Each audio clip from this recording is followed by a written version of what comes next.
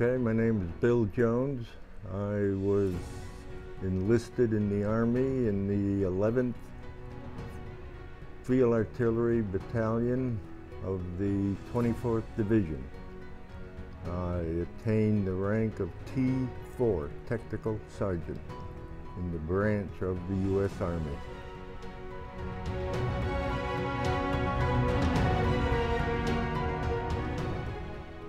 I started out in the field artillery as a cannoneer and I had a gifted service date in time because when they saw how small I was, I couldn't carry two 90 pound shells to fire them. So somebody took mercy on me and sent me to radio school up in Yokohama, Japan. So I spent my time up there, got certified as a skilled radio operator, learned Morse code, and was assigned back to the 24th Division, the headquarters division, taking coded messages 24 hours a day on call.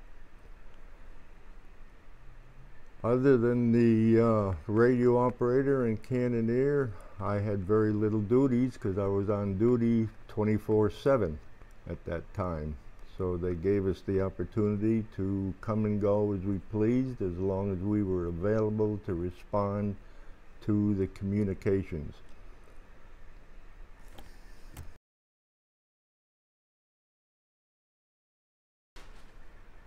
Okay, one of the funniest things that ever happened to me was uh, when it was time to ship out of Japan in December 1947, I was sent up to Yokohama to board a Army transport ship. Well, there must have been at least 500 people there. To, they were calling off your names alphabetically. And I'm standing there, and 499 guys take their duffel bags and get on board the ship, and I'm standing there all by myself.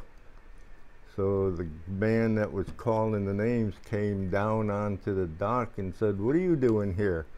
I said, You haven't called my name yet. He says, Well, what's your name? I says, Jones, J O N E S. He says, Let me look. And he opened up his papers and ran down them. And all of a sudden he says, Oh, I'm sorry. I pronounced that Honez. So you can get on the ship.